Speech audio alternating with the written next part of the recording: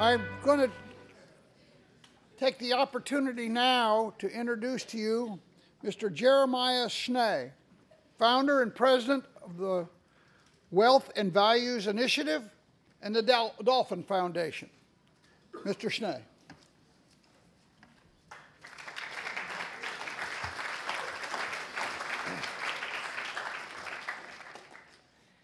Good morning, everybody.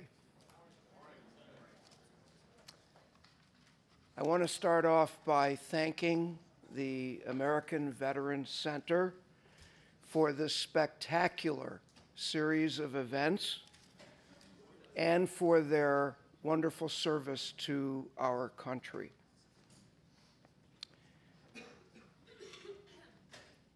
I also am so impressed with the quality of the young people here today. These young, high potential military leaders inspire confidence in me as a father of four with three grandkids in terms of the future of my kids and grandkids in this country. I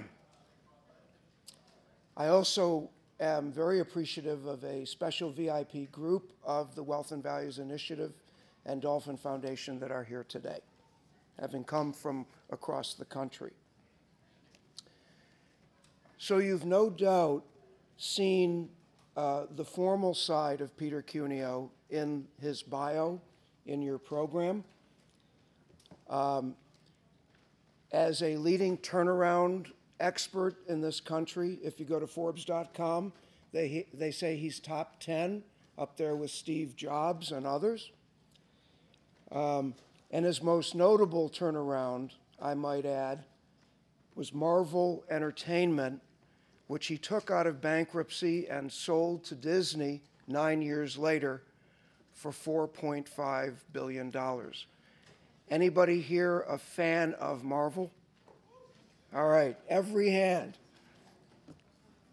but I want to share very briefly a little bit more on the personal side having had the pleasure and honor of working with Peter, both as a partner and as a friend for over seven years.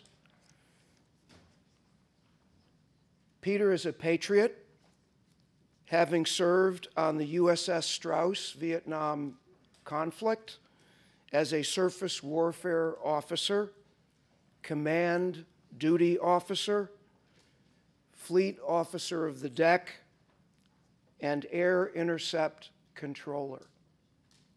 After which, he pivoted and completed Harvard Business School. Um, and having emerged from Harvard Business School, having gone to Alfred University, ultimately became chairman of the board of Alfred University um, and received an honorary degree there. So, service to the country, business leadership, uh, academic leadership, Peter's also a patriarch. So he's been married for 49 years to a, his lovely bride, Maris, with whom I've had the opportunity to work philanthropically. Maris uh, runs that part of the family office. And Peter did found what we call a family office after exiting Marvel, which is intergenerational wealth in which generations collaborate together, and that's the work of the Wealth and Values Initiative. We work with legacy families. And we're doing a lot philanthropically, both for veterans, which is 50% of the Dolphin Foundation, as well as for the area that we call sports for good, when an athlete pivots, pivots toward give back. And our mission is to inspire wealth and power to do just that pivot toward give back. So, all of those dimensions Hard to imagine one person has done them. Peter's done them wonderfully. And the most important takeaway, he walks the talk. So without further ado, my friend and partner, Peter Cuneo.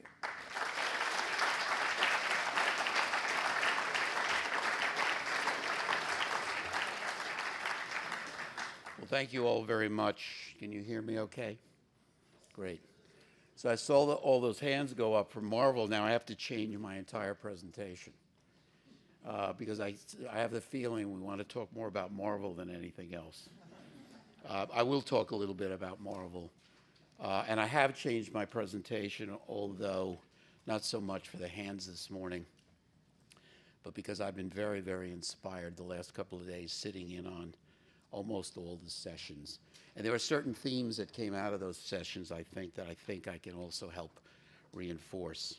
Uh, so, um, you know, I, I hope every speaker, as you might imagine, and I've been doing these kinds of things for 20 years, wants to leave something behind, something that the audience will remember no matter what, just one thing. If you can do that, you've, you've been very successful. So I will try to do that with all of you today. So think of this presentation not as a, as a group presentation, but actually simply as a fireside chat. I want to speak to each of you individually, at least spiritually, if not in actual practice. Um, and so uh, uh, I'm, I'm, really thrilled to be here. And again, I think uh, I'm always tremendously turned on when I can speak to people that are younger than I. You know, we get to a certain age and we, we older people uh, basically get a lot of our energy fr from younger people. And uh, seeing the bright lights in our, in our future, which includes, I think, all of you in the room today. The uh, task that I was assigned, my tasking assignment, was to talk, try to talk about some of the leadership lessons that I learned in the, in the military and that I have subsequently used in civilian life. And I'm going to do that today, and I will uh, uh, use Marvel as a, a, model in some cases for, for things that I learned in the military but were able to apply uh, in the future. Um, I'm wearing two pins today. I think they're important. The pin on my left lapel is the pin, is the pin of the National Archives. I have been on the board of the National Ar Archives Foundation for eight years. Uh, I, we are having this meeting here today by pure coincidence, but I've sat in your seats for a long time and seen scores of people up here at the podium presenting, so for me it's kind of fun to do a little reversal today and be up here. The National Archives is, in some ways, America's best kept secret. The National Archives keeps the records of all the departments of the government from the beginning. We have 16 billion documents. 6 billion are digital, but we have 10 billion documents that are not digital. We have the largest collection of antique maps, largest collection of film, and I think it's 48 million photographs in the archives.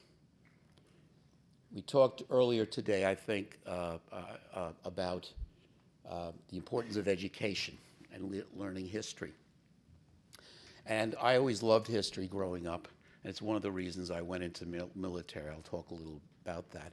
It's also the reason that I'm on the board of the archives, because I love history. I do believe that past is prologue that by studying history, we can all increase our wisdom. Human nature being what it is, it tends to repeat itself. The trappings may be different, the situations may be different, but it'll be very important for you to be successful in the future to understand human nature. Whether you're a junior officer or uh, uh, have a star rank, reading people is very, very important. I learned a lot of that in the Navy, and I've used it successfully, I think, in civilian life as well. Um, the archives is, as I said, America's best kept secret. You are sitting a couple of floors down underneath the Declaration of Independence, the Constitution, the Bill of Rights, and a copy of the Magna Carta, which is the basis for all English law. And I do, so, someone said, please get up there and take a look while you're here. Um, it's, it's truly a, a, an amazing experience to see those documents. We also, the archives also oversees uh, all 14 presidential libraries. So for someone like me who loves history, this is a, this is a gold mine, if you will, a great place. It's, it's a ho hallowed, a uh, sacred place for me, and, and it should be for all Americans. And by the way, the archives are open to all Americans, with the exception of some confidential documents, obviously. All Americans can come here and take advantage. The pin on my right lapel is actually also from the archives. We on the foundation raise money to do special exhibits that will first be here, and the exhibit that's here to, uh, presently is the exhibit on the 19th Amendment, the 100th anniversary of women getting the vote, women's suffrage.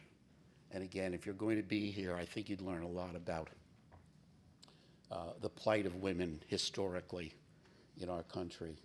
And I'd, I'd uh, recommend to you that, that you go and try to get through that exhibit, male or female. I think you'll learn a great deal. But several years ago, we did the, the uh, uh, 50th anniversary of, this, of the uh, Vietnam War, of which I'm a veteran. And uh, the four of us on the board that were Vietnam veterans got this pin. And I thought I would wear it just for that year. But frankly, I wear it all the time now, and I don't think I'll ever take it off. But again, this all ties together under, under this rooftop. So I think it's really super moving, frankly, for me to be here today. I want to talk a little bit about um, my service. Why did I go in the Navy in the first place? Um, I was uh, uh, from a Navy family. My father was a Navy officer in South Pacific. And in the Korean War, he was ordnance officer on the USS Valley Forge during Korea. My father loved the Navy. He wanted to stay in. Even though he was way past the age when Vietnam came, he actually wrote a letter to uh, the Navy trying to get them to call him back up, even though he was retired. Uh, and that was typical of my father. By the way, the archives has in St. Louis the records of 100 million Americans who have served in the military from World War I forward.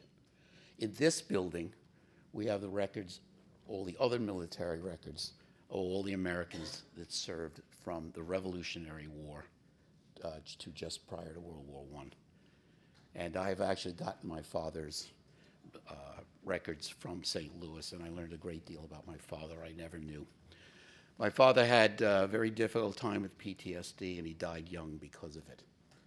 And uh, to a certain degree, as a young kid, I could never understand why uh, he was uh, so unhappy. He was a lieutenant in New York Si- Fire Department as well. Uh, my uncle, Uncle Roy, is 96, is one of my heroes today, still living. He landed at Leyte Gulf with MacArthur. Leyte Gulf was the largest naval engagement in history. So, for those of you who want to learn a little bit about history, I'm going to talk about one aspect of that in a little bit. He also served, uh, my uncle also served in the Navy uh, during the Korean War. So, growing up, this was part of my life. Um, and uh, I loved history, and I read a lot of military history and was moved by it. Watched a lot of the old films. I thought I was John Wayne to a certain degree in many of these films, and, uh, and so on. So I, I might mention a few of them to you, and, and, and you might actually want to have the same experience that, that I've had. Maybe one for each service. So in the Air Force, I think what really inspired me was a film that I would consider to be, and I'm in the film business, as you all know, perhaps the greatest film on military leadership ever made. And the film was actually made in 1948, nominated for the Academy Award, won several awards, not Best Picture, runner up for Best Picture. And if you're all wondering, what could that film be? It's actually a film called 12 O'Clock High, scar- uh, starring Gregory Peck. I think anyone sitting here who's involved with the Air Force, either as a student or as an act, uh, active duty officer or, or retired, if they don't know the film, you have to see it. It is the true story of the Americans taking on daylight bombing in uh, World War II over Europe, flying out of England. And it is a turnaround story. And of course, I've made my career doing turnarounds. Marvel is just one of seven that I've completed, taking on difficult assignments when things were pretty chaotic financially, culturally, and otherwise in companies. So this is a turnaround film. A particular squadron is not doing well. Gregory Peck is asked uh, by his commander to take over the squadron and fix it. I really recommend it all to you. You may think 1948, black and white, how good can it be? It is classic. It is classic. 12 o'clock high, Gregory Peck. I'm actually requesting that all of you try to see the film. I often use it in my, I do a lot of presentations on leadership, and I often will uh, use the film to start things off. Um, for the Marine Corps, actually, you might say I'm going to talk about Iwo Jima. Iwo Jima is considered the Marine Corps' finest hour. We certainly have a wonderful uh, memorial here in Washington, but I have a slightly different opinion. For me, in all my readings, the Marine Corps' greatest moment may be the Chosin Reservoir in North Korea. For those of you, again, who are thinking about the Marine Corps or anyone else, you must read the story. It is a Korean War. We have driven the North Koreans back, basically, to the Chinese border. The Chinese decide, it's winter, Chinese decide to enter the war, and they send uh, millions of uh, soldiers against us in the north. The Marines are occupying the area around the Chosin Reservoir. It is minus 30 degrees. Human waves of Chinese come at the Marines. It's 10 to 1. 10 to 1.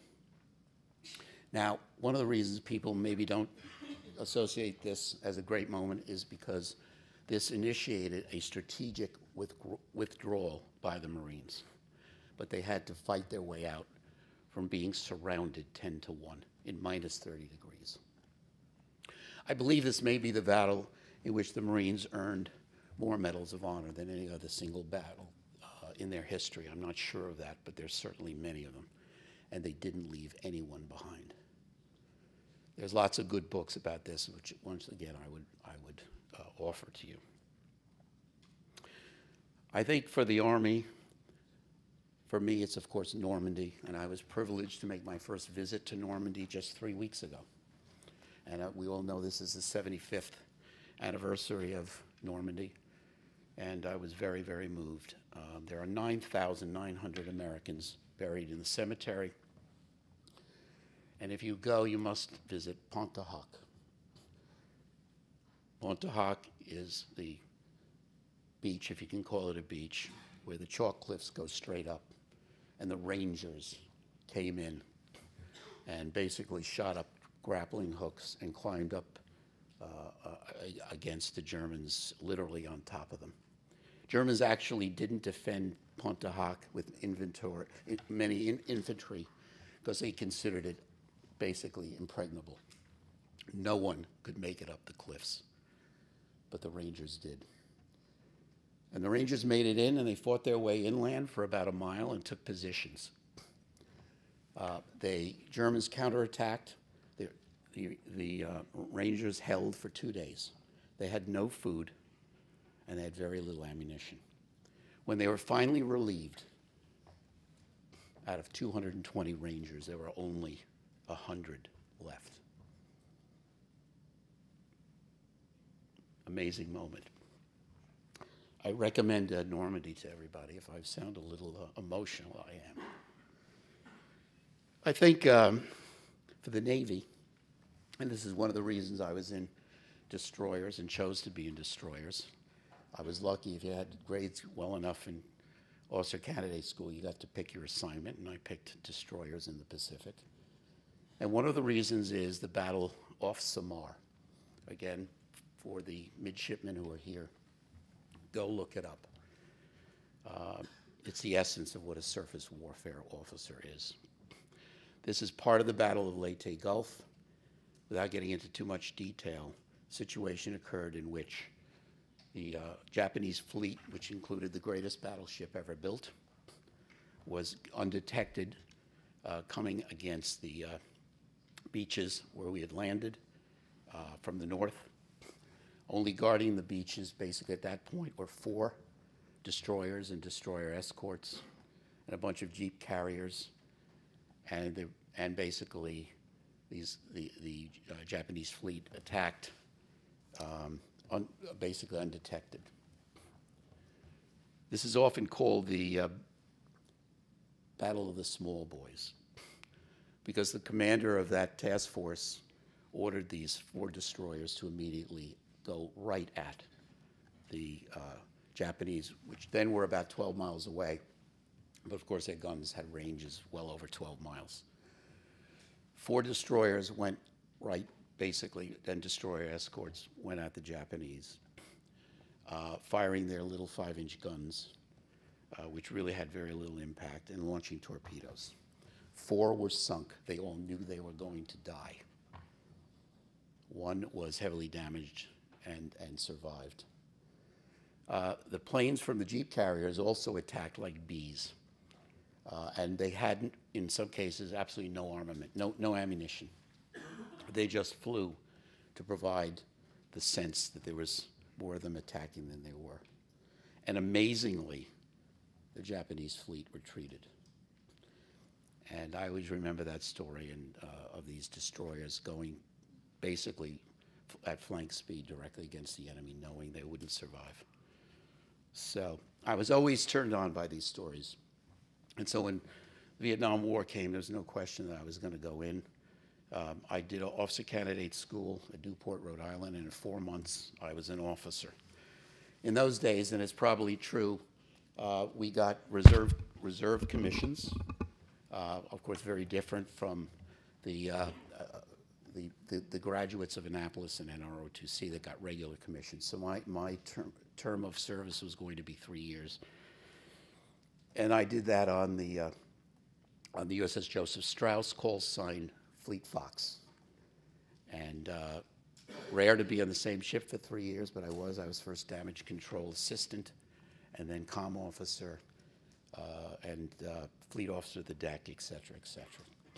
I love driving a ship. I'm going to talk a little bit more about that later on. The thing I remember the most, though, is the tremendous amount of responsibility that young officers got in the military at that time. And I think it is still true today. All of you will get uh, great responsibilities for your age. And if you use that properly, you, you can uh, uh, bring great credit to yourself and to your accomplishments. Very, very important. We are lacking in leadership today in this country. I think we all know that.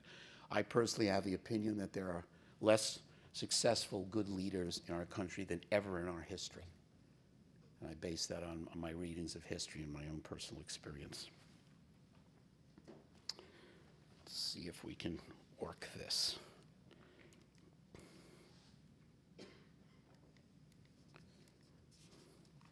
So I would ask you, I should have asked you before I put this up, to uh, define what you think successful leadership is.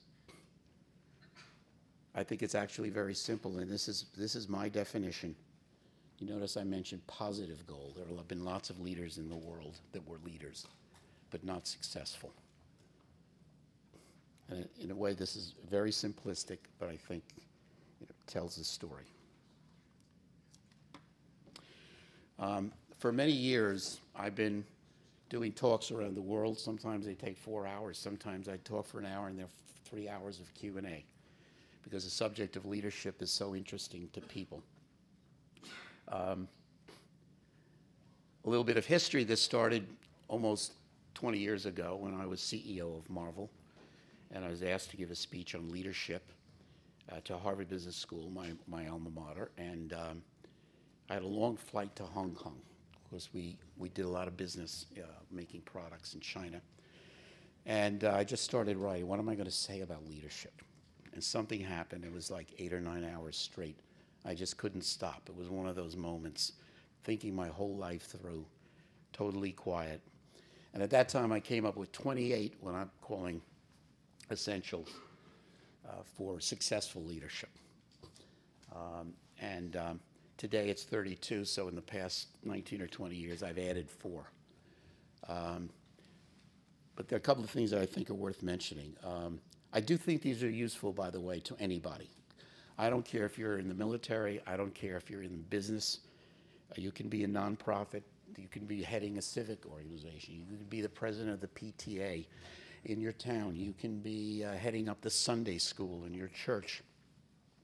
All of these are fundamental, and they would work for everybody. I don't care what your background is, what your age is, whether you have money or not, what your sexual orientation is, what your color is, what your ethnic group is, what your gender is. It doesn't matter. I think this, these are, are universal principles.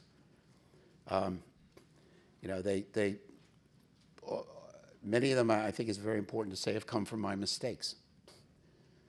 I often say that I, uh, I remember every gory detail of my mistakes, but I, I remember very little about my successes. And it's true. So I've tried to learn from them. And one of the great things about great leaders is they always learn from their mistakes. And we're going to talk a little bit more about that. They're always very honest about what works and what doesn't work, and they're always trying to improve. This is not a complete list, it's my list. If you were tasked with doing your own list, it might be different. It might include some of these things, probably would, but might include some others. So I don't pretend that this is uh, the end all at all. These are written, however, not from 40,000 feet, but from right on the, right on the ground. Uh, You can get uh, talks, you can read, read some books by consultants, you can um, go to a class in, in school, and they talk about leadership often from 40,000 feet. Someone must have vision. A leader has vision. Well, that's fine.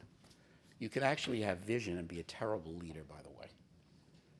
That's just one example of what. So I wrote, wrote these for somebody who was going to have to lead people every day, every day, and motivate them accordingly. Um, I also think that you might want to get a, this list. I'm not going to show the whole list in the interest of time. However, uh, you know, the organization, the American Vets Center has the list, and they will be happy to provide the full list to you. They are very simple. They take two pages. They are one or two sentences each. I use this to grade myself on a regular basis, even after all these years. And I've had people who I've given this to many, many, 10 years ago, call me up and say they still use the list. But if you're going to use the list, you have to be honest with yourself. Don't have to share it with anyone else.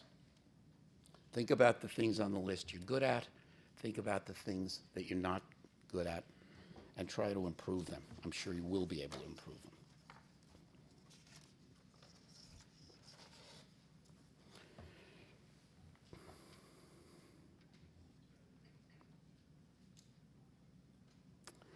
What I'm going to do now is select a couple of these uh, and take you through them and um, talk about some experiences I had in the Navy and also uh, in civilian life in leadership. The first part of what I do is uh, in these essentials is what I consider fundamentals. And what I mean by fundamentals is actually very simply things that we all know are true. You will look at this first group of fundamentals and probably say, well, I know that. I get that. But in my experience, not many people actually practice them. So that's why they're here. So I'd like to talk about number two for a minute, which is not coming up correctly for some reason, but let's see if it, okay, okay, good. Um, and this one is simply tell people wh- what you really think. Just talking about simply being honest and admit your mistakes. The year is 1968. I am a brand new ensign on the Strauss. I'm on board about two weeks. We are in uh, the Tonkin Gulf. The mission we're on is called plane guarding. At that time, uh, it may be different today because this is 50 years ago. But basically, when aircraft carriers launched or recovered aircraft, they wanted a destroyer one nautical mile in front and another one one more nautical mile in trail, simply because if someone went in the water, you know, you hopefully were able to, to pick up the pilots. Um, in the Navy at that time, the worst time for Airedales flying off the carriers was actually landing. Now, it was also true, and it's very li- little known, that um, the Navy pilots flying against the North had a 50% chance of being hit during their tour, which was typically six months on station. They may make it back to the carrier, not shot down necessarily. But we often had planes going feet wet, getting back over the water and wanting to get back on the carrier. So the role of the destroyers was very important. The Navy launched uh, and recovered aircraft at night. You couldn't tell the difference. They flew a lot of night missions. It is the mid-watch. That's the watch from mid- midnight uh, to four in the morning, and I am a junior officer, and the captain says to me, all, Cuneo, all I want you to do is stand here and observe. You don't have to do anything. We would be on what we call the gun line in the war zone for 30 days at a time, and then take three or four days of R&R in some port. The captain of the ship was on the bridge the entire time, except when he had to take, her, take care of certain health duties. He slept in his chair because there was action all the time. And the captain would typically get, as you might imagine, very, very tired and exhausted. It is now 2 o'clock in the morning. We receive an order from the carrier, call sign Tip Top. Fleet Fox Tip Top takes station and go one mile in trail. And of course, they give you the carrier is turning into the wind at flank speed, which is for them is about the equivalent of uh, 35 miles an hour. Giant ship doing 35 miles an hour over the water is unbelievable uh, to recover and, and possibly launch aircraft. Um, when you're at night, you float around at random. You don't know where the other destroyer is or the carrier, simply because you, you, you, you're a darkened ship. And so uh, you, you have some idea on, on surface search radar where people are, but basically it's very quiet and you're just floating around waiting. And we received the order, and the officer of the deck was a Mustang, a former enlisted man, and, and superb, I have to say, looking back, superb officer. Again, for those of you that are not in the Navy, the captain is not the one giving orders to the engine order telegraph for speed or uh, to the helm for, for, for uh, course. It's the officer of the deck. And the officer of the deck was this Mustang, and he quickly did a calculation, a relative motion cal- calculation. We're here, the carrier is there, the carrier is turning to this course at this speed. We need to get one mile behind. How do we do it? And uh, gives orders to them. The captain, who had been groggy, if not asleep in his chair, wakes up. What? Got to go what? We're done? I'm only halfway through. Okay. So the, uh, I'll finish this story then and we'll move on. The, uh, the captain wakes up, does a calculation, countermands the OD's orders. And I could tell something is wrong. And at this point, I'm starting to wonder if I made a career, uh, uh, made a bad career decision. About one minute later, we're about to cut the other destroyer in half. Captain gives hard rudder. We managed the only time in my Navy career I ever heard hard rudder. And, uh, uh, and basically, we managed very close aboard to avoid the other ship. Next morning, the ship is buzzing with what the, uh, what had happened. Ship is like a little tight community. Everybody knows everything. And the question was, can we trust this captain? Will he get us killed? Is there something wrong with the captain? And the captain did something extraordinary. He called a meeting of all the officers, and he sat at the head of the table and said, Last night there was an incident. I made a mistake. I want to go through what happened and thoroughly analyze it so it never happens again. And I could see in the next hour how the mood in the, in the room changed from, can we trust this captain, to, we, we're, we're willing to die for him. It was that dramatic. So I always, I've, I've learned and lived about, about this issue of admitting mistakes. In civilian life, I've had no problem admitting my mistakes when something had to be fixed. And as a CEO, in turnaround situations where people can lose their jobs next week, where the company can go under because it's, it's bankrupt, you have to make a lot of decisions very quickly, in some cases with incomplete information. You have to do it and some will be mistakes. And I've always known that. And I've always told my organizations, I will make some mistakes, but we will fix them. That's what matters. Uh, so it looks like uh, I'm getting pushed away. Uh, I'll be out in the uh, hallway, uh, you know, if anyone wants to hear the rest of my presentation. But I want to thank you all very much, and uh, good luck to all of you.